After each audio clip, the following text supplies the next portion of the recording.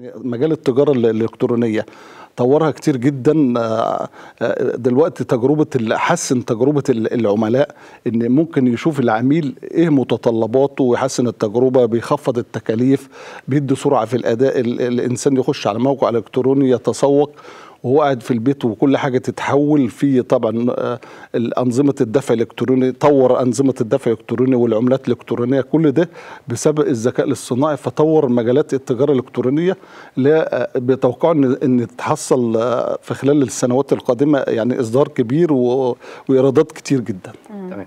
أنا برضو عايز أسأل حضرتك إحنا في مصر هنا فين من القصة دي؟ وهل إحنا بس متلقيين للتكنولوجيا الجديدة ولفكرة الذكاء الصناعي ولا إحنا ممكن يبقى لنا دور؟ أنا بشوف دلوقتي الشباب الصغير زي ما قلت في المقدمة عندهم توجه وعندهم يعني شغف ناحية إن أنا عايز أتعلم موضوع الذكاء الاصطناعي ده. فشايف حضرتك إحنا فين؟ والفترة اللي جاية أخبارها إيه معانا؟ هي مصر مصر يعني هي بتتجه للذكاء الاصطناعي بطريقة في سنة 2021 عملت المجلس الوطني عفوا المجلس الوطني للذكاء الاصطناعي.